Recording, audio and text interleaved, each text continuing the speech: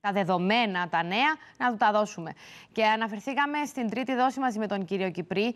Ακούσαμε προχθές ότι τρίτη δόση προς το παρόν δεν θα λάβουν όσοι ασθενείς, όσοι, συγγνώμη, όσοι πολίτες έχουν λάβει το εμβόλιο της Johnson Johnson. Είναι ένα ερώτημα το οποίο θέσαμε και χθες στη συζήτησή μας και θέλω να μας πείτε, εμ, περιμένουμε ακόμα δεδομένα από τον αίμα για το συγκεκριμένο.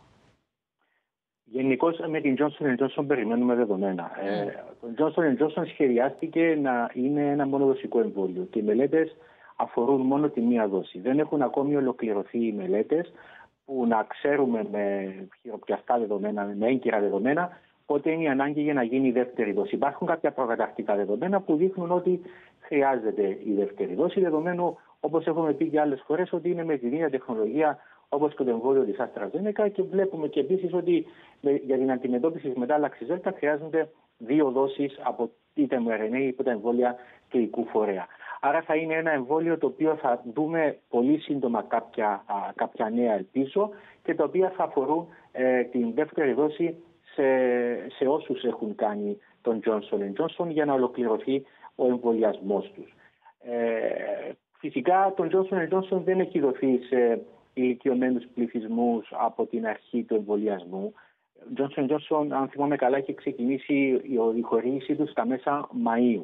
Ενώ η τρίτη δόση, ε, είτε στους ανοσοκατασταλμένους που πήγαν προτεραιότητα, ε, είτε ε, στους ηλικιωμένους, οι εμβολιασμοί είχαν ξεκινήσει από τον, είχαν γίνει σε αυτούς τους πληθυσμούς μεταξύ Ιανουαρίου και Μαρτίου και αυτοί οι άνθρωποι είχαν πάρει ως επιτοπλίστων mRNA εμβόλια ή εμβόλιο της AstraZeneca. Άρα λοιπόν να τα βάλουμε ξανά σε μια προτεραιότητα. Αυτοί που είχαν εμβολιαστεί τότε χρειάζονται να γίνει η τρίτη τους δόση, ενώ αυτοί που είχαν κάνει Johnson Johnson είναι και συνήθως ε, νεότεροι πληθυσμοί, ε, για τους οποίους θα δούμε ακριβώς την ανάγκη για το πότε θα χρειαστεί η δεύτερη δόση ε, το επόμενο χρονικό διάστημα. Μάλιστα. Λοιπόν, ακούγοντας και συναδέλφους σας, κύριε Πέτρου, στο εξωτερικό στην Ελλάδα, υπάρχει ένας διάλογος, μια κουβέντα για το ε, ποιοι ε, μπορούν και ποιοι θα ήταν καλό να λάβουν την ε, ενισχυτική δόση του εμβολίου. Εμείς ε, πήραμε τις αποφάσεις, ανακοινώθηκαν από το Υπουργικό Συμβούλιο με, το, με ποιο τρόπο θα, θα ξεκινήσει τέλος πάντων να ενισχύεται ο πληθυσμός με την τρίτη δόση και μιλήσαμε και για τον γενικό πληθυσμό άνω των 65, ε, πέραν από τις άλλες δύο κατηγορίες. Ποια είναι η θέση σας εσάς για την ενισχυτική δόση του εμβολίου; Η ενισχυτική δόση είναι απαραίτητη. Έχουμε όλα τα κλινικά δεδομένα που δείχνουν ότι οι άνθρωποι που εμβολιάστηκαν νωρίς έχουν μια έκπτωση στην ανοσία, μειώνεται η προστασία τους με την πρόοδο του χρόνου και η τρίτη δόση ε, αποκαθιστά σε μεγάλο βαθμό την προστασία την οποία έχουν. Και τα δεδομένα κάθε μέρα γίνονται και περισσότερα από τα δεδομένα πραγματικής ζωής που έχουμε από το, από το Ισραήλ, που ε, αποδεικνύουν, δικαιολογούν, αν θέλετε, την, ε, την τρίτη δόση σε συγκεκριμένες ομάδες και όχι στον ε, γενικό ε, πληθυσμό. Αν θα προχωρήσουμε στον γενικό πληθυσμό θα είναι κάτι το οποίο θα το δούμε τους επόμενους μήνες, ε, που δεν είναι όμως θέμα προτεραιότητας αυτή τη στιγμή. Προτεραιότητα υπάρχει να γίνει ο εμβολιασμός σε αυτούς οι οποίοι δεν έχουν λάβει κανένα μα κανένα εμβόλιο για να αντιμετωπίσουμε αυτά τα οποία φοβόμαστε ότι θα δούμε το φθινόπωρο. Ή φοβόμαστε ότι θα δούμε το φθινόπωρο; Αυτό που είχατε εκεί mm-hmm. πει και προηγουμενω ε, Ένα ενδεχόμενο κύμα. Και οι, οι, οι Άγγλοι, οι οποίοι είναι ε, πιο μπροστά χρονικά από εμάς και έχουν και πολύ καλύτερα προγνωστικά μοντέλα από εμάς, επιδημιολογικά. Εμείς αυτό δεν μπορούμε να είμαστε έγκυροι, λείπουν δεδομένα. Ε, προβλέπουν ότι ενδεχομένως τον Νοέμβριο να χρειαστεί να πάρουν πιο αυστηρά μέτρα. Θα είναι μια περίοδος που θα έχει μειωθεί η προστασία των εμβολίων, αλλά ενδεχομένως και να έχει ε, εμφανιστεί μια διαφορετική μορφή της νόσου λόγω της ε, ΔΕΛΤΑ.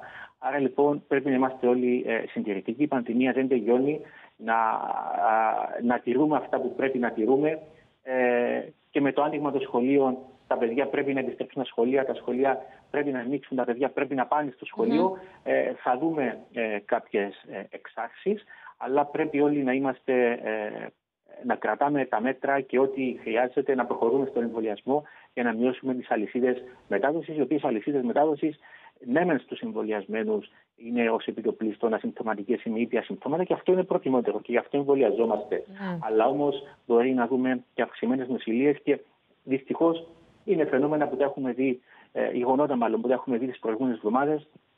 Νεαροί ε, να νοσηλεύονται και να πεθαίνουν ε, ανεμβολίαστοι ε, επειδή ήταν μέσα σε μια λυσίδα ε, που είχαν μολυθεί. Τώρα, σε ό,τι αφορά ε, τις κατευθυντήριες γραμμές που έχουμε αυτή τη στιγμή από τον ΕΜΑ και από το ECDC για ε, ποιοι είναι καλό να λάβουν αυτή τη στιγμή τις ε, τρίτες δόσεις, ο κόσμος άρχισε και μπαίνει στην διαδικασία να διαρωτάται, όπως αναφερθήκατε και εσείς πιο πριν, ότι θα το δούμε σε μεταγενέστερο στάδιο, αν θα προχωρήσουμε και σε κατώτερες ηλικιακές ομάδες, σε πιο, σε πιο μικρές ηλικίες για ενισχυτική δόση.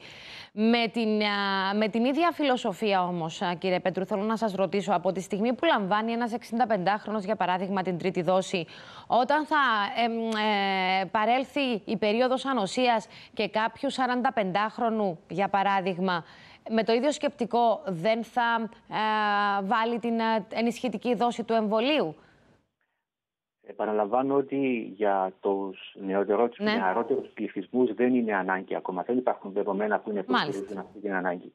Η, η, η πιο μεγάλη ηλικία, οι ηλικιωμένοι πληθυσμοί έχουν διαφορετική φυσιολογία και το ανοσοποιητικό του σύστημα είναι γερασμένο. Υπάρχουν άλλες ε, νόσει. Ε, όχι να πούμε τους 60, ε, κυρία Πετρό, να πούμε τους 65χρονου ηλικία. Όχι, Θεού, είπα πιο μεγάλη ηλικία. Θα ε, αρχίσουν να στέλνουν μηνύματα ο κόσμος τώρα. Εντάξει, δυστυχώς έχει. Ε, ε, μπαίνει κακώ αυτή η λέξη μπροστά το ηλικιωμένοι. Δεν είναι ηλικιωμένοι, είναι άνθρωποι μεγαλύτερης ηλικίας όπου φυσιολογικά mm -hmm. ε, ναι, αλλάζει ναι, αντιλαμβάνομαι. και μειώνεται η, η προστασία. Άρα λοιπόν ένας 45 με ένα 65 έχει πολύ μεγάλες ε, διάφορε. Γι' αυτό λοιπόν και δεν είναι προτεραιότητα. Ε, Στους επόμενους, εντάξει, κάποιες χώρες, το Ισραήλ, που φυσικά και το Ισραήλ μπορεί κάποιος να ισχυριστεί ότι ε, εκεί ξεκινούν και γίνονται και οι, οι, οι προχωρούμε πιο γρήγορα βήματα ε, για να κατεβαίνουν ηλικιακά κάτω με την τρίτη δόση και εκεί θα δώσουν περισσότερα στοιχεία. Αλλά όμως, επαναλαμβάνω, δεν είναι αυτή η προτεραιότητα. Αυτοί οι οποίοι έχουν προτεραιότητα και ένα 45 και ένα 40 και ένα 45 που έχουν ε, κάποια ανόσο ή είναι ανοσοκατασταλμένοι και χρειάζονται την τρίτη δόση, αυτοί θα την λάβουν. Αλλά επαναλαμβάνω, πρέπει να περιμένουμε. Και ο ΕΜΑ και ο ECDC έχουν δώσει μια γενική, ε, μια γενική ανακοίνωση. Δεν έχουν κάνει ακόμη συστάσεις και δεν έχουν αξιολογήσει ο ΕΜΑ ακόμα ε, τους όρους μέσα στους οποίους θα γίνεται η, η αδειοδότηση της τρίτης δόσης, που εκεί ίσως μάθαμε και περισσότερα για τις πιο ε, μικρές ηλικίες και πότε μπορεί να γίνει. Αλλά να επαναλάβω για ακόμα μια φορά να μην χάνουμε την ουσία ναι. της ε, συζήτησης, όπως το έχει πει και πολλές φορές ο αίμα, να δούμε πώς θα εμβολιάσουμε αυτούς που είναι ανεμβολίαστοι, αλλά όχι μόνο στη δική μας κοινωνία και στις χώρες οι οποίες δεν έχουν λάβει ακόμη εμβόλιο. Ξέρετε, υπάρχουν χώρες mm. που έχουν ακόμα 1, 2, 3% ποσοστά εμβολιαστικής κάλυψης. Και από αυτές τις χώρες είναι που θα δούμε μια απειλητική μετάλλαξη ενδεχομένως τους επόμενους μήνες. Άρα λοιπόν πρέπει να, ε, να βλέπουμε ότι δεν είμαστε ένα κλειστό σύστημα. Έτσι, δεν είμαστε ένα κλειστό σύστημα όπου δεν επηρεαζόμαστε από αλλού και να δούμε όλες οι χώρες πώς μπορούμε να βοηθήσουμε αυτούς τους πληθυσμούς που δεν έχουν εμβολιαστεί.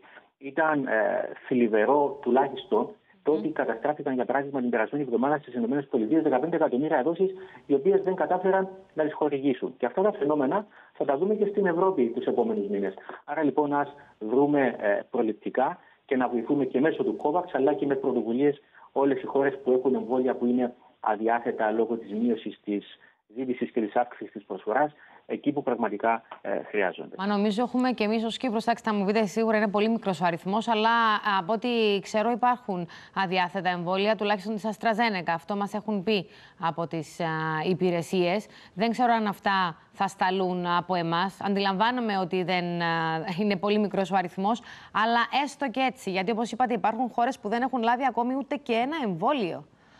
Ε, τουλάχιστον στους αρμόδιους του Υπουργείου από την, ε, στην Διεύθυνση Αγορών έχω, ε, έχω κάνει συγκεκριμένες ε, από τον περασμένο Μάιο για το πώς μπορούν να διατίθενται. Αρχικά αυτοί κρατούν τα δεδομένα, αυτοί ξέρουν την, ναι. την αποθήκη τους, τι έρχεται, τι υπάρχει, αλλά ε, έχω ήδη κάνει συγκεκριμένες εισηγήσεις για το πώς μπορούν να α, αποσταλούν εμβόλια. Φυσικά είναι και μια υποχρέωση που έχει απορρέει από το Ευρωπαϊκό Συμβούλιο του Μαΐου να δίνονται εμβόλια ε, σε άλλες χώρες. Αλλά εντάξει, δεν είναι δική μου αρμοδιότητα. Είναι αντιληπτό, αντιληπτό. Το καλό είναι ότι υπάρχουν εισηγήσεις, κύριε Πέτρου. Είναι πολύ θετικό. Υπάρχουν εισηγήσεις, μα κύριε Αγαπητού, υπάρχουν και χώρες που έχουν ζητήσει εμβόλια. Ναι. Ε, λοιπόν, εγώ θέλω να σας ευχαριστήσω πάρα πολύ. Ε, θα σταθώ σε αυτό ότι υπάρχουν χώρες ακόμη που δεν έχουν λάβει εμβόλια και θα πρέπει όλοι ε, όσοι έχουν αποθέματα να ξεκινήσουμε αυτή τη διαδικασία γιατί μετά θα είναι ένας φαύλος κύκλος από ό,τι αντιλαμβάνομαι. Είναι δηλαδή, ένας αυτό... φαύλος κύκλος και ε, κάποια μοντέλα δείχνουν ότι ε, με τους ρυθμούς που πάμε, δηλαδή ο, ο μισός πληθυσμός του κόσμου έχει λάβει τουλάχιστον μία δόση σε mm -hmm. πολύ αδρά νούμερα, αλλά είναι στο δυτικό κόσμο. Και σας είπα τις διαφορές 1, 2, 3% κάποιες χώρες. Δεν προβλέπεται από κάποια μοντέλα να ισορροπήσει η κατάσταση όσον αφορά τον εμβολιασμό, χωρίς να ξέρουμε πώς θα εξελιχθεί ο ιός πριν το τέλος του 2023.